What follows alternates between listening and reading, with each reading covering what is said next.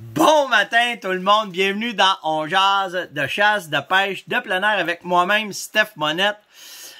Tu sais, t'as des matins, là. Moi, je suis prête depuis 6 heures à 6 heures à peu près à, à tourner, puis là, c'est un affaire en arrière de l'autre. Mon ordi a foqué. Tant que j'arrange ça, que je place ça, que je fasse ci, en tout cas, placer ça. Après ça, je place mon setup en arrière parce que j'essaye que ça soit fine quand même avec vous autres. Ma blonde, le matin, qui commence à me parler, bla bla bla bla bla bla bla bla bla, pas correct avec ses souliers. Là, elle vient me parler, elle vient me dire plein d'affaires, puis là, j'étais- pour commencer. Pause! Défais mon setup. Fait que j'ai entendu que tout le monde soit parti. Bon matin, tout le monde, j'espère que vous allez bien. Et si voilà. Mais, malgré tout, hier, ça a été une maudite belle journée parce que Yann a récolté un dindon. Puis ce qu'il y a de vraiment sharp dans ça, c'est pas parce que c'est un gros dindon. Puis écoute, tu sais, le plaisir de la chasse, j'en parle tout le temps, c'est juste ça qui est important. Si t'es légal, t'as le droit, t'as le droit dans ton évolution de chasseur de vouloir faire le RTLB. T'as le droit de vouloir te forcer pour ramasser un gros orignal de 60 pouces. T'as le droit de, de parcourir les montagnes stick pour essayer de tuer le plus gros jackalope au monde. Mais t'as le droit aussi d'avoir juste du fun. Juste du fun. De récolter un dindon légalement. De récolter un spike, une femelle légalement. De récolter juste un orignal pour avoir du fun avec ta gang. De récolter une femelle jackalope si tu veux. Le but, là, c'est juste d'avoir du gros, gros, gros plaisir. Puis, je le sais qu'il y en a dans leur, dans leur façon d'être, dans leur façon de voir ça, qui sont rendus ailleurs de d'autres. Mais c'est pas donné à tout le monde d'avoir des terrains privés qui peuvent chasser puis les exploiter comme ils veulent. Puis on a beaucoup de terres privées au Québec. On a le droit, pas de terre privée, mais de terre publique. On a le droit d'y aller, on a le droit de s'amuser dessus. Donc, les discours, mon plaisir, c'est mon plaisir. Je suis légal, j'ai du fun, je suis avec ceux que j'aime. That's it, that's all. Moi, ça s'arrête là. OK? Que tu sois pas content parce que je chasse sur un appât, que tu sois pas content parce que j'ai fait un dindon à l'approche, que tu sois pas content parce que j'ai tiré un Jake, parce que t'es pas content parce que j'ai tiré une femelle chevreuil. Je m'en. Café il est bon, j'ai du fun, that's it, that's all, c'est tout ce qui compte. Puis même dans les groupes de chasse, c'est le plaisir de tous et chacun qui est important. De faire de la belle gestion, c'est bien correct. Mais de ne pas oublier le plaisir là-dedans. De ne pas avoir des tensions, de pas. Déjà que dans la vie, la vie n'est pas facile des fois. Y a-tu d'autres choses à faire que de se poigner pour une queue de dindon ou un bout de poêle, garde? Fait que c'était juste ça parce que hier, Yann, son dindon, il était content. Il était content parce que il était après travailler, il était avec un de mes employés, Danny. Ils ont la même âge. Quand ils ont vu le dindon, ils se sont mis en équipe. Ils m'ont appelé et m'ont dit Hey, on peut-tu prendre une demi-heure de temps, un dindon, on va aller l'essayer. Les deux sont partis ensemble, ils ont fait une stratégie. Yann y a monté, il a récolté son dindon. That's it. C'était ça qui était cool. C'est juste ça qui était cool. Puis en plus, pendant que je suis euh, après parce qu'à tous les, à tous les mardis matins, j'ai une émission quotidienne euh, à 100, au 100 000 matin au, je suis pas bon d'un pouce, 80, 97.3 euh, FM, vous, la vous pouvez la pogner sur le web aussi avec Marc. Puis je fais des chroniques sur la chasse, la pêche, euh, la, nature, n'importe quoi. Puis euh, pendant je, je suis live, puis c'est drôle, on est après parler de la relève justement. Puis là, je vois Yann qui rouvre la porte, qui me fait, euh, là, je dis, je suis en entrevue radio, tu sais. Ouais, mais d'un coup, je le vois s'avancer, jouer l'arco du dindon. Je fais, ben non, live à radio. Il fait, ben non, Marc, mon gars vient de récolter un dindon. Puis ça, c'est juste ça. C'est juste ça. C'est juste le plaisir. That's it. That's it. That's it. Que tu veuilles, que tu sois conscient sur la gestion, que toi, tu décides de faire telle affaire, que toi, tu décides parce que tu as du temps, parce que tu es retraité, parce que, parce que, parce que c'est bien correct. Mais il y en a d'autres qui n'ont pas cette chance-là. Puis quand ils tombent sur un gibier qui ont le droit légalement de le faire, bang, ils le ramassent. That's it. Bon, c'est parler de ça un matin. Qu'est-ce que j'ai à vous jaser un matin? Hey, un matin, faut que je fasse ça. Je fais mes salutations en premier. J'en ai une ici. J'ai euh, ça, c'est des salutations, mais c'est un Airloose Time bien placé que je trouve ce matin par Christian. Il veut saluer euh, son épouse. Euh, c'est Christian Caisse. Anne, Anne, Annie-Claude Ménard. Je m'excuse ce matin avec les noms. Annie-Claude Ménard, euh, elle vient d'être initiée euh, à la chasse au petit gibier, mais avec ses enfants aussi. Il y a Alexandre puis il y a Léane qui est là-dedans, qui ont, euh, qui ont commencé à chasser un petit peu le petit gibier, puis qui ont appris. Puis là, ils sont allés à la pêche, ils ont eu du fun à la pêche, puis ils trouvent ça cool, même s'ils n'ont pas poigné de poisson, mais d'être en famille, d'être en, en, plein air, ils ont trouvé ça bien cool.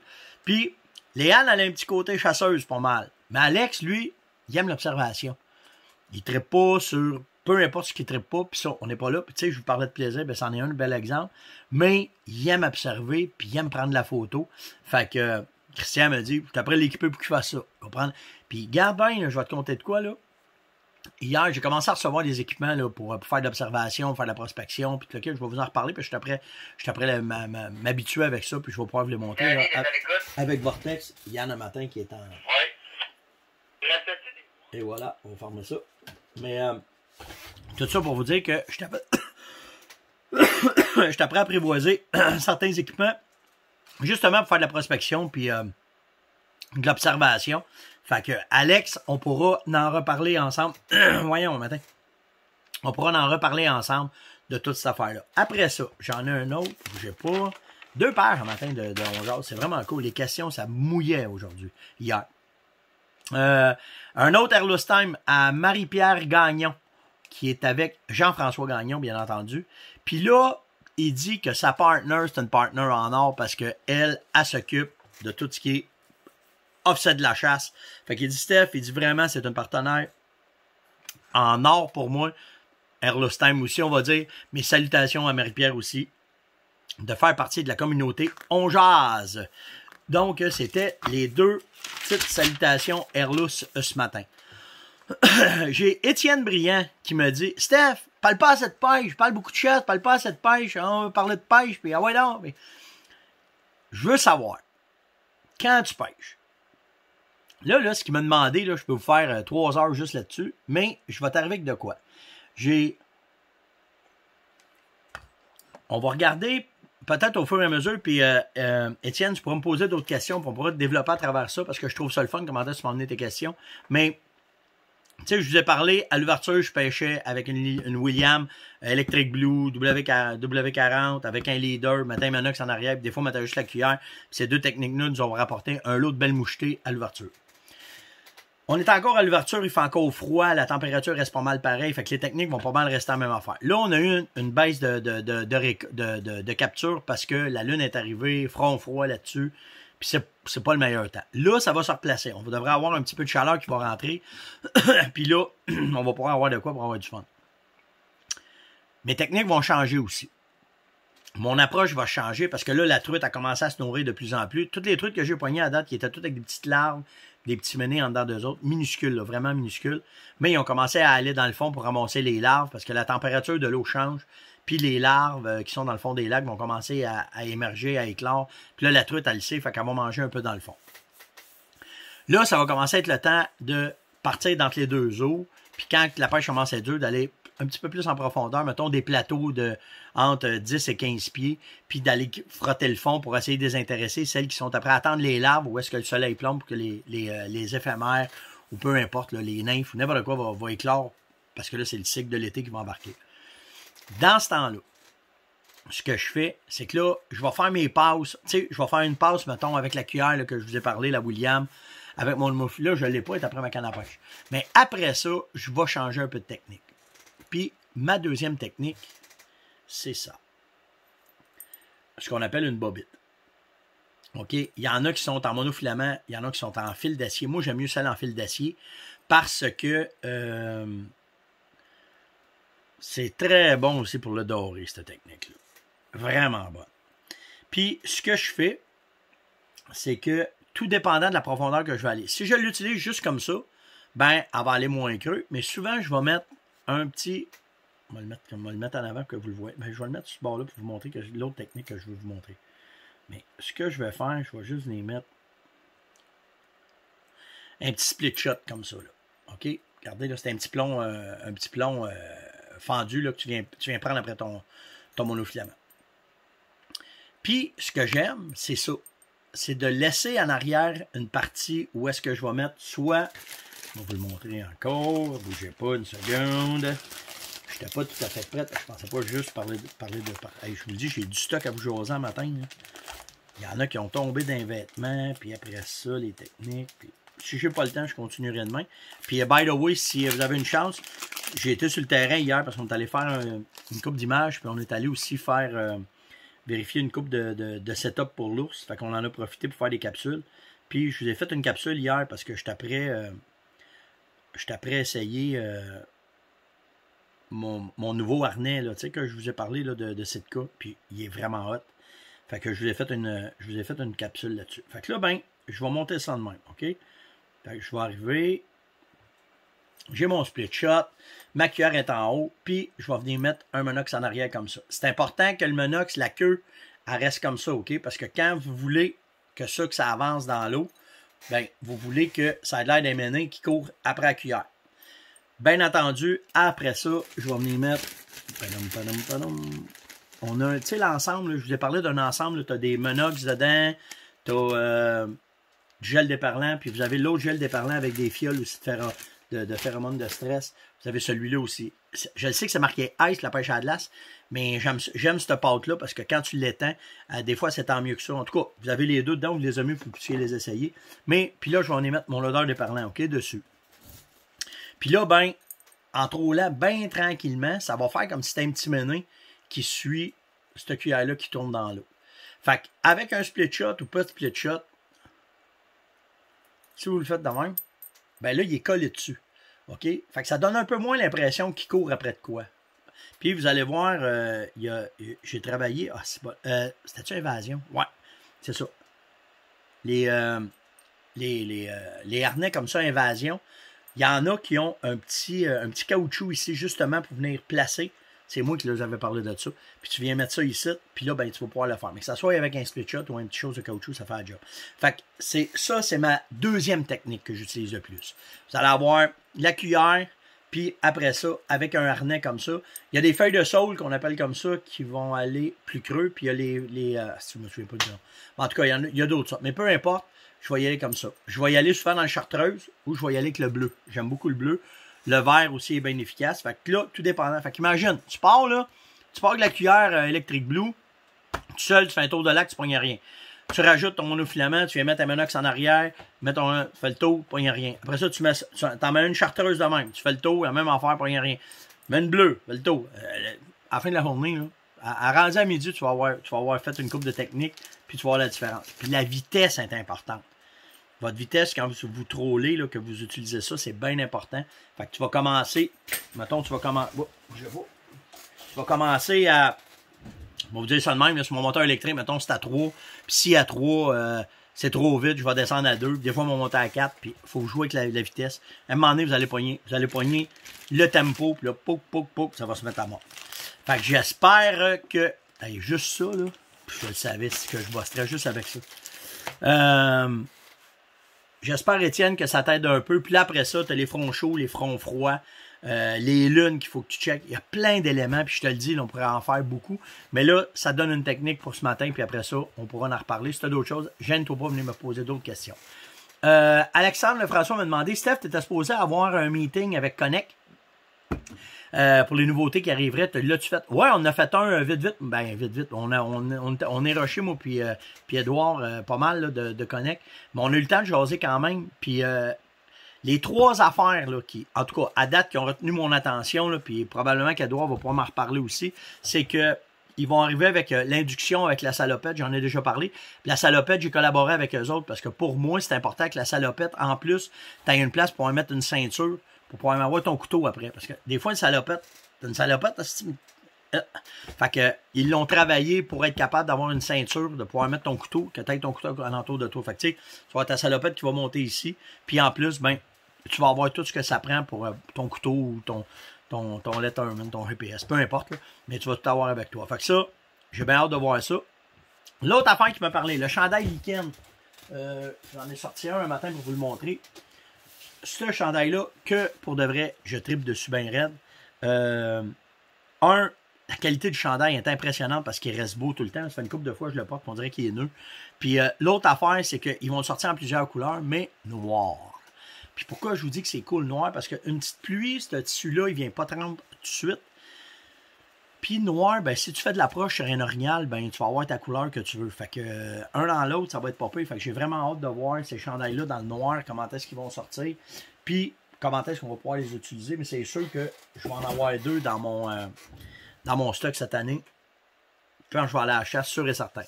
Et l'autre affaire, ça j'en ai pas, mais ça va m'amener à vous parler d'autres choses. Les fameuses doudounes.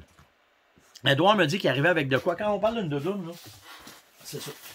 Les fameux manteaux en. C'est souvent du synthétique. C'est un tissu qui fait un peu de bruit, mais c'est fait pour aller en dessous. C'est pour ça que le tissu est fait comme ça, que quand vous allez vous rentrer le bras, ça va. Ça va, ça va bien rentrer, puis ça va faire une double isolation. Connex s'en vient avec un aussi qui va être noir si, je ne me trompe pas. Encore là, c'est parfait parce que c'est fait pour alentour. Et ça m'amène justement euh, à vous parler de ça.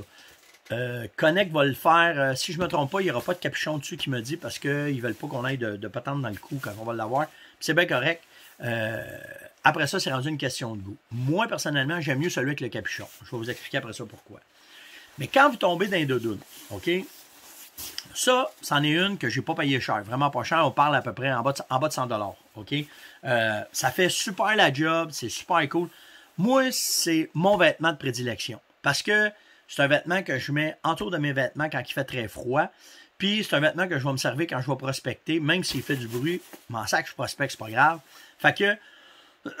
puis j'aime ça parce que la, raison principale, c'est que quand tu le roules, ça vient tout petit, mais pas tout, parce qu'ils ne sont pas tous pensés pareil, OK? Mais ça vient petit, fait que dans ton sac à dos, ça prend pas de place. Après ça, ça va être comment est-ce que tu vas payer pour avoir plus de choses. Celle-là, c'est bien basique, OK? C'est vraiment juste une couche d'isolation, pas imperméable, c'est du synthétique qu'il y a là-dedans, puis euh, c'est tout, OK? Après ça, ben, vous allez tomber, vous allez payer un peu plus cher, OK? Pourquoi vous payez un peu plus cher? Premièrement, vous voulez, avoir la même euh, densité d'isolation quand vous allez le mettre en dessous. Mais ça revient. Oh, une capuche. Tu te avec plus que ça. Puis, des fois, tu vas arriver avec une finition qui est, un, qui est bien faite. OK? Mais là, c'est surtout la packabilité qu'on va dire. Parce que lui, quand je le pointe, regardez bien ça, là, comparé à l'autre, vous avez vu comment ça, ça m'a pris du temps à, à, le rouler? Regardez celui-là il rentre dans ma main. Puis ça, j'ai été jusqu'à moins 30 avec ça. Mettons, avec le lichen, le chandail, je vous parle, puis avec ça, tu vas faire un maudit bout, OK? Puis, après, mais le problème, même s'il est super bien packable, pas imperméable. OK? En tout cas, quasiment pas imperméable. Parce que aussitôt que la pluie le poigne, il vient trempe. mais ça sèche rapidement parce que plus que tu vas payer cher, plus que toutes les fibres qui sont pensées sont faites pour vous donner du rendement. OK? L'autre de donne, je vous ai montré, là, ça va prendre 3 heures avant qu'elle sèche. Ça, ça prend à peu près 20 minutes, c'est sec quand c'est trempe. Puis après ça, ben, tu vas arriver. Moi, c'est celle, en tout cas, à date, c'est celle que j'apprécie le plus. Vous allez arriver avec, euh, celle-là, c'est un Sitka. Lui aussi, packabilité, t'es Pardon. L'autre affaire qui est cool, par exemple, imperméable. Capuche. Puis la capuche est pensée pour que quand tu te la mets sur la tête, tu tournes la tête cette nuit pas. OK? Puis la finition. C'est là que vous voyez la différence entre, mettons, en bas de 100 vous arrivez à 200 puis vous arrivez avec, euh, mettons, 300 OK? Peu importe les prix, mais c'est pas ça. Mais la finition, après ça, compte. Des poches à l'intérieur, la façon qu'elle est faite, OK? L'imperméabilité, le tissu qu'il y a dedans, la rapidité. Imperméable, hier je l'ai essayé, il pleuvait, ça a fait packabilité, la même affaire. Lui, il vient encore plus petit. Celui comparé au Couillou, là, il vient encore plus petit. Fait que, tu sais, ça m'amène à vous dire, parce que j'ai eu la même question, je vais vous dire qui, là. Euh, comment tu procèdes? Les habits de chasse. C'est euh, Sylvain Gilbert qui m'a demandé ça. Il m'a demandé, Stéphane, comment ça se fait qu'il y en a que tu payes 300-400$, puis il y en a d'autres qui vont arriver à 700-800$, même à 1000$. Comment ça se fait? Ben, si tu as la réponse avec ce que je viens de te dire là. C'est que dans tes vêtements de chasse, quand tu vas rentrer là-dedans, comment de je Oh, c'est bon, je n'ai même pas fait la moitié de mes, commentaires. Euh, quand tu rentres dans les vêtements de chasse, OK? Plus que le vêtement est spécialisé, plus qu'ils vont prendre des tissus, plus qu'ils vont prendre de quoi qui est pensé pour qu'il sèche vite, qu'il fasse pas de bruit. C'est là que le prix augmente.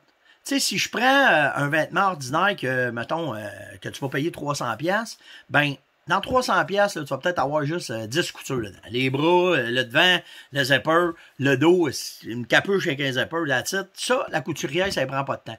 Si tu arrives, mettons, je vais vous parler du, dernier vêtement que, j'ai utilisé, le fanatique, mettons, de cette cas, ben je pense qu'il y a une affaire comme 30 euh, coutures dedans.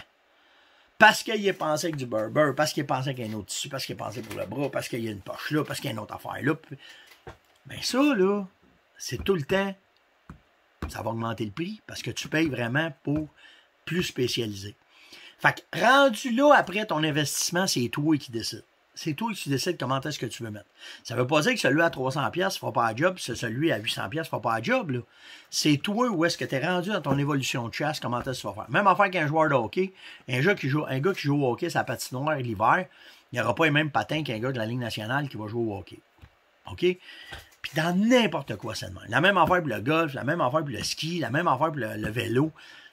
Moi, je fais du vélo avec un vélo de 300 pièces, puis mon chum qui passe à côté de moi, il a un vélo de 3000 pièces. Fait que tu sais, vous payez tout le temps pour qu'est-ce que vous voulez avoir comme performance dans l'équipement que vous allez chercher.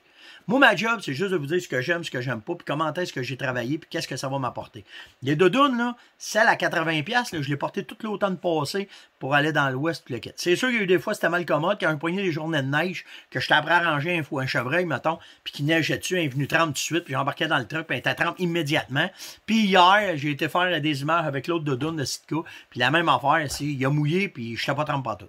Fait que, tu sais, c'est une question J'espère que ça répond à ta question. Tu vas tout le temps payer pour qu'est-ce que tu vas avoir, pour la performance que tu vas avoir. C'est simplement ça. Mais juste les composantes du vêtement, de la façon qui est faite, les coutures, la finition, la qualité, les épaules, euh, tout ce que tu voulais, les fermetures éclairs, je veux dire. Mais tout ça va faire la différence.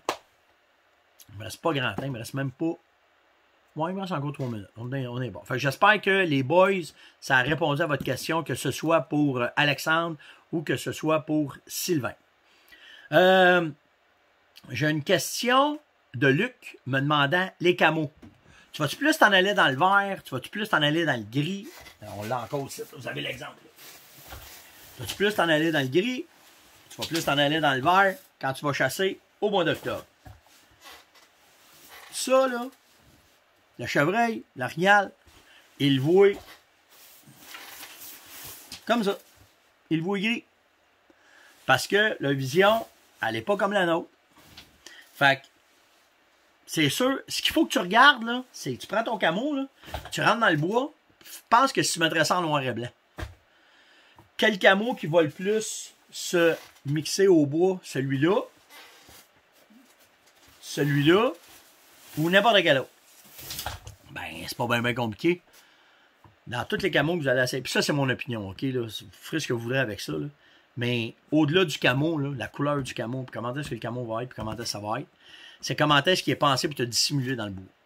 Parce que les couleurs deviennent toutes quasiment pareilles pour un chevreuil et un orignal. Le dindon, c'est un autre affaire. Mais le chevreuil et un orignal vont être tout pareil. Puis après, le mouvement. Et puis après, le bruit. Le bruit, le mouvement, puis le camo. Ça, c'est comme ça que moi, je vais faire ça. Fait que ça te donne une idée comment est-ce que moi, je pense. C'est tout. Simple de même. Euh, ah oui, puis il m'a demandé, Luc, ton couteau. Mon couteau. Quel couteau tu utilises? Euh, tu t'en avais déjà parlé. C'est celui-là que j'utilise. Tu m'avais dit l'orange chez lui. C'est mon euh, Edge. Puis euh, essaye dans les couteaux Other Edge que tu vas faire venir. T'as la lame qui est comme ça. OK? Mais tu as aussi un qui vient avec l'éviscérateur. Fait que si tu as un choix à faire dans tes couteaux, ben va chercher celui avec aussi bien tout avoir dedans. Il est quasiment la même grosseur que celui qui n'a pas d'éviscérateur, mais au moins tu vas avoir un outil de plus si tu viens qu'à récolter un gibier. Je peux pas tout vous parler à matin. Malheureusement, j'ai encore des sujets, je vais me les garder pour demain matin. Mais merci vraiment. Vous, me faites halluciner de toutes les questions que vous me posez, puis comment est-ce que vous venez me jaser, puis c'est vraiment, vraiment cool. Puis là, il faut que je vous dise de quoi, j'ai découvert une place dans Messenger que j'ai pas répondu. Ah si, je sais pas comment faire, mais j'ai des questions que j'ai vues hier depuis le 19 avril que j'ai pas répondu, je sais pas pourquoi, je les ai pas vues. Fait que là, ben, j'essaie de passer à travers ça. J'ai fini hier à 10h30 de vous répondre, puis il y en a, vous le savez, je me suis excusé parce que, ah, je les ai pas vus. Mais, euh, j'essaye de pogner le dessus, puis il y en a qui m'ont dit, Stéphane, on veut pas te déranger, vous me dérangez pas. OK, que tu reviennes deux fois, trois fois, quatre fois, ça reste poli, puis ça reste dans, tu sais, je me sens pas agressé, là, quand, vous êtes tellement sweet, quand vous me parlez. Fait qu'il y en a pas de problème. Vraiment pas. Fait que là, je sais pas, je m'excuse, s'il y en a, c'est, je, je le vois pas. J'ai découvert ça hier, là, tu sais, les internets sont slow chez nous. Ah, si, je vais bosser. Les internets sont slow chez nous, là. Puis des fois, là, je, je, je, j'en ai 15. Là, ah, petite, petite, journée, 15, 15, 15 questions. Je vous réponds, j'en ai 40 qui rentrent. D'où ce qui te vient, je ne sais pas. Mais c'est pour ça que j'essaye de tout passer à travers. Puis gênez-vous pas. Si je vous ai pas répondu, ça me dérange pas, ça m'offusque pas. Je l'ai coulé, ce cours-là, moi, à l'école, d'offuscation, puis de, Il n'y en a pas de problème. À part quand ma blonde, il y a tout de faire mon setup, là, mais à part de ça, il n'y en a pas de problème. vous me tuer à soir. Mais c'est bien correct. Fait que, tout ça pour vous dire que Passez une excellente journée. N'oubliez pas de liker, s'il vous plaît, OK? Liker, partager, inviter du monde et surtout, surtout, venez me mettre un commentaire. Ça fait vraiment ma journée quand je vois que vous êtes 2, 3, 400. Venez me mettre un like, un thumbs up, des questions. je sais que je n'ai pas passé à travailler tout le monde, mais hier, c'était malade. quand j'ai tout découvert ce que j'avais, j'en revenais pas. Fait que je me promets aujourd'hui, je rentre au bureau, je fais une coupe de mes affaires, puis après ça, je vais venir vous répondre. Puis, dernière chose, Likez, partagez, invitez, je le sais. Mais euh, le spécial euh, Vital Mix, on l'a mis sur le site hier parce que on a eu tellement de questions puis tellement de, choses sur le transport puis comment est-ce que c'est. Fait que on s'est organisé pour le faire. Puis j'ai une autre affaire que je suis prêt vous sortir aujourd'hui qu'on va mettre sur le site web pour justement des demandes que vous nous avez faites. Fait qu'on va répondre à ça. Fait que merci tout le monde. Passez une excellente journée. N'oubliez pas de liker, partager, inviter et laissez-moi un commentaire. Et on se voit tout le monde demain. Ciao tout le monde!